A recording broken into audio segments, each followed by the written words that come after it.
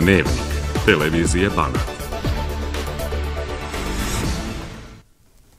Dobro večer, poštovani gledalci. Moje ime je Danijela Koreć, a vi pratite Dnevnik za 16. april.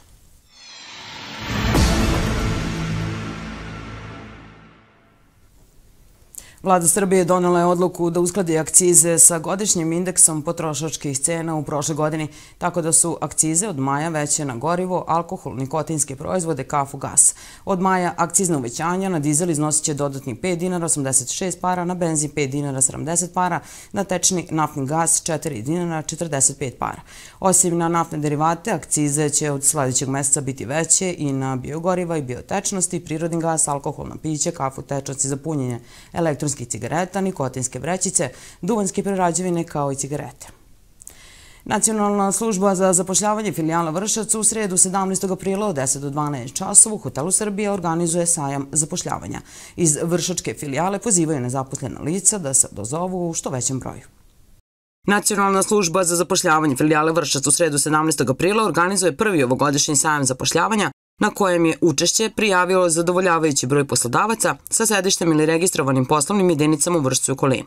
Kako ističe direktor nacionalne službe filijale Vršac Radojica Lazin, i ovoga puta najtraženiji su kandidati različitih obrazovnih profila i stepena stručne spreme.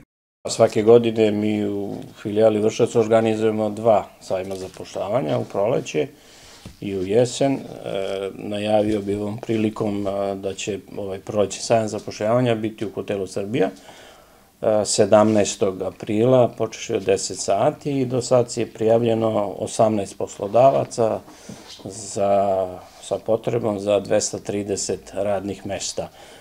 E, poslodavci koji su prijavili svoje učešće su Hemofarm, Intentron, e, Frezenius, e, Vilabreg, e, Hotel Srbija, Fokus, Sava osiguranje, Generali osiguranje, i još e, drugi poslodavci, eto neka bude mala tajna da nezaposleni e, dođu i vide kakva je potreba za, e, za zaposlenjem. A kao i do sada, to su ovaj, radna mesta, počevši od proizvodnih radnika, kuvara, sobarica, vozača C kategorije, vozača autobusa, automehaničara, autoelektričara, agenata za životna, neživotno osiguranje, radnik obezbeđenja i drugih, drugih zanimanja koje će, se sad u ovom trenutku traže. Vršačka filijala poziva nezaposlene sugrađane da posete sam zapošljavanje i iskoriste mogućnost da većem broju poslodavaca predaju svoje radne biografije i u neposrednom razgovoru predstave svoje kvalifikacije, znanje i radno iskustvo, jer dosadašnji rezultati pokazuju da na ovaj način iz godine u godinu sve više ljudi pronalazi željeni posao od prošlog sajma do sada. Imamo neke rezultate po čemu možemo i da se pohvalimo. Znači, direktno je po osnovu sajmova, odnosno sajma zapošljavanja, 150 lica nastalo zaposlenje. U 2022. godini je to bilo 148 i tako dalje, pa se nadamo da će i e, ove godine e, dosta ili veliki broj lica i naći po osnovu sajma svoje zaposlenje. Zahvaljujući sajmu zapošljavanja kao i mnogim drugim aktivnim merama koje Vršačka filijala sprovodi, smanjen je broj nezaposlenih lica, kojih trenutno na evidenciji ima 4666, što je oko 700 lica manje nego prošle godine. Poreska uprava obračunala je doprinos za obavezno socijalno osiguranje poljoprivrednika za 2024. godinu. Na osnovu zakona o doprinosima za obavezno socijalno osiguranje i iznosa najniže mesečne osnovice za poljoprivrednike za 2024. godinu utvrđena je mesečna osnovica doprinosa u iznosu od 40.143 dinara i godišnja osnovica doprinosa u iznosu od 481.716 dinara. Poljoprivrednicima je tako utvrđena godišnja obaveza od 115 15611 dinara za PIO i 49.615 dinara za zdravstveno osiguranje, odnosno ukupno godišnje 165.228 dinara. Utvrđen godišnji iznos doprinosa obveznik plaća u jednakim mesečnim ratama u roku od 45 dana od dana početka tromesečja. Južnobanatski region pa i celu zemlju još od polovine februara prate temperature više od proseka što je dovelo do ubrzanja vegetacije stranih žita, ali i voćarskih kultura i vinove loze. Najavljeno zahlađenje i padavine mogli bi uzrokovati pojavu patogena, pa treba primeniti odgovarajuće mere zaštite. Prema rečima stručnjaka regionalnog centra prognozno izveštane službe Vršac, kompletna vegetacija na ovim terenima odvija se 20 dana ranije, a visoke temperature doprinele su i ubrzanom prolasku mnogih faza, posebno kod koštičavih voćnih vrsta, koje su period cvetanja i oplodnje završile za tri dana. Dobro je što tada nije bilo padavina, pa nije bilo pojave monilioza, ali bi kiše najavljene za naredni period mogle da doprinesu širenju mnogih patogena, pa su mere zaštite neophodne u svim kulturama.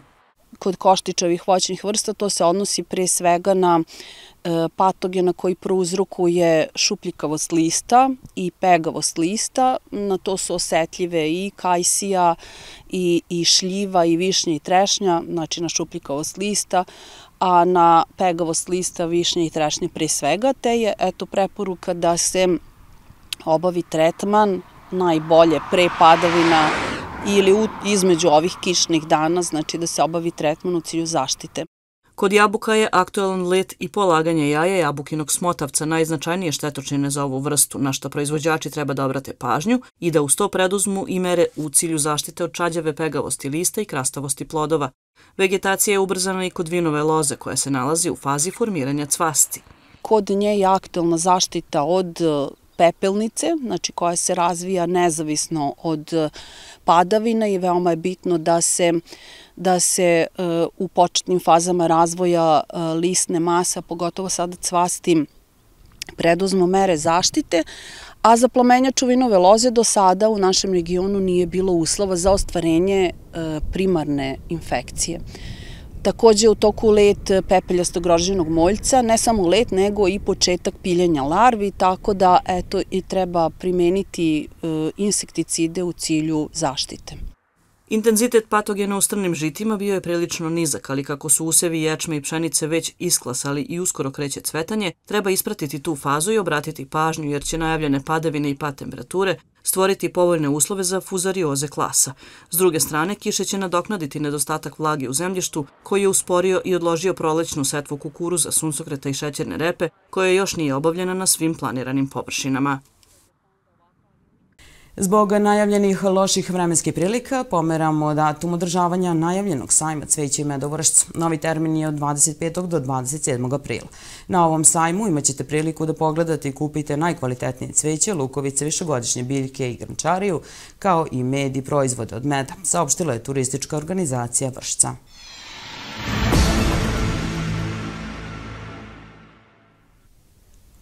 Učenici muzičke škole Josif Marinković iz Vršca ostvarili su sjajne rezultate na nedavno održanim takmičenjima.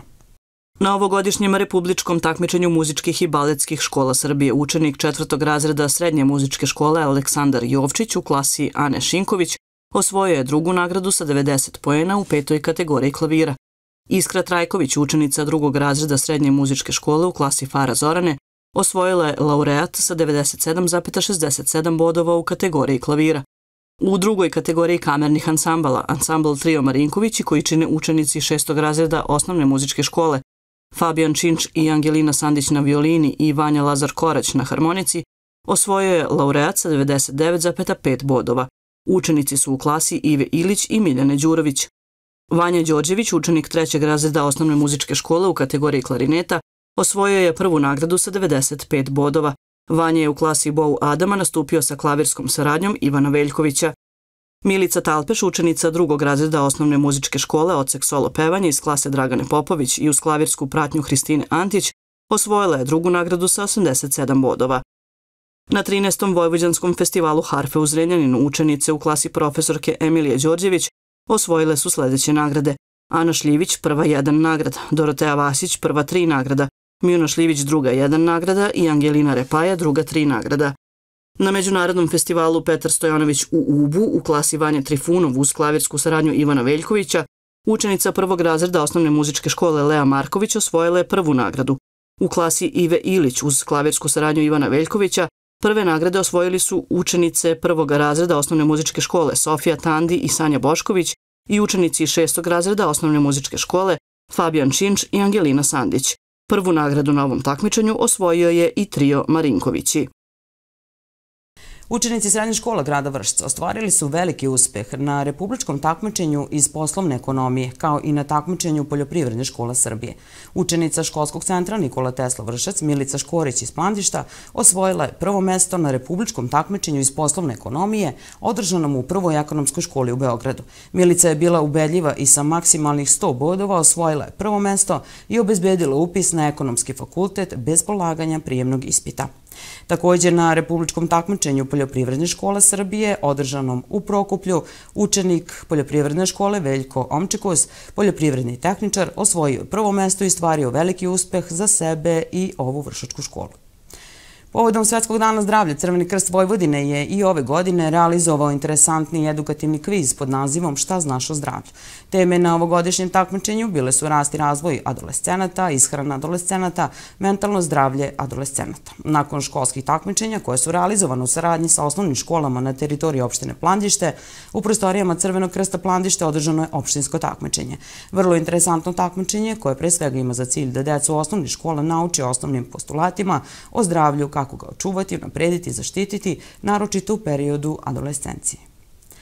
Druga aprilska redovna akcija dobrovoljnog davanja krvi biće održana u četvrtak 18. aprila u prostorijama Crvenog krsta Vršac u vremenu od 9 do 12 sati.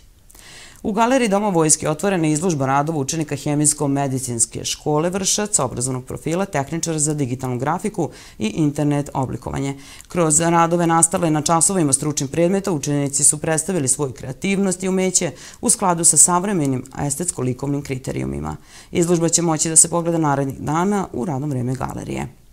U sredu 17. aprila 19 sati na velikoj sceni Narodnog pozorišta Sterija biće izvedena predstava Simpatija i antipatija ili Čudnovata bolest po sterijinom tekstu, a u režiji Aleksandra Urošević. Opština Bela Crkva objavila je javno nadmetanje za davanje na privremeno korišćenje lokacija na glavnom Belocrkvanskom jezeru radi postavljanja manjih montažnih objekata privremenog karaktera. Lokacije se izdaju na period od tri godine, vreme korišćenja ne može biti kraće od tri meseca u kalendarskoj godini, a prijeve se podnose do 22. aprila.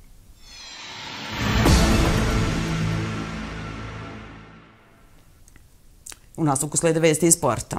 Futbaleri Opaka Vršca su pobedom na gradskom stadionu protiv odličnog tekstilca, rezultatom 2-1, drugi deo prvenstva završili na desetoj poziciji i sa velikim samopouzdanjem narednog vikenda protiv mladosti GAT počeće borbu za opstanak.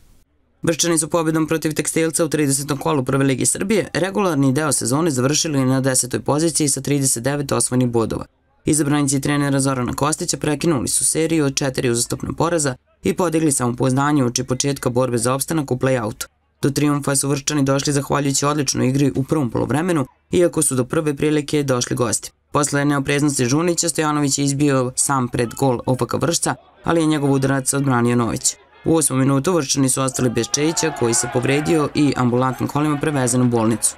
To nije poremetilo igru domaćeg tima koja je u 30. minutu došla do vojstva. Kapitan Lazevski preciznim pasom spojio sa golom Milojevića, Mladi napadač bio je siguran u realizaciji 1-0 za UPK Vršac.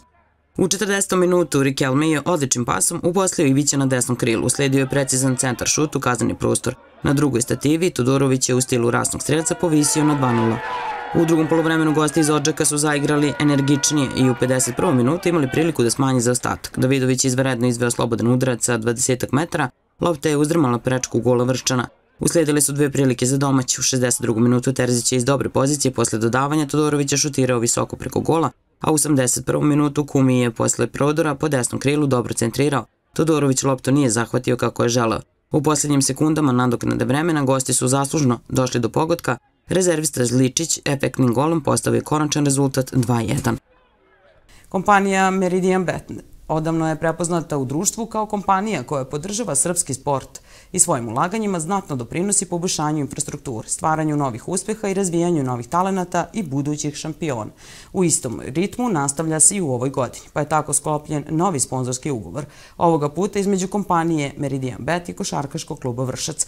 Potpisivanje ugovora prisustvovali su predstavnici obe strane, Kristijan Serman, direktor Košarkaškog kluba Vršac, kao i Milica Odalović, direktorka marketinga kompanije Meridian Bet, koji su iznali svoje utiske i preneli zadovoljstvo dogovorenom saradnjom. Košarkaši Vršca iza sebe imaju izvarednu sezonu u Košarkaškoj ligi Srbije u kojoj su sjajnim rezultatima izborili plasman u ABA 2 ligu u kojoj će nastupati u sezoni 2024-2025. godina. I na samom kraju dnevnika sledi vremenska prognoza u sredu oblačno osetno hladnije sa temperaturom nižom za 15 do 20 stepeni u odnosu na prethodni period, mestimično sa kišom i lokalnim pljuskovima koji će na jugu i jugoistoku Srbije biti obilniji.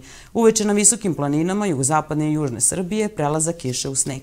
I u vrstu sutra oblačno sa kišom i pljuskovima, najviša dnevna temperatura do 9 stepeni. Pratili ste dnevnik za 16. april. Hvala vam na pažnji, želimo vam prijatno meče.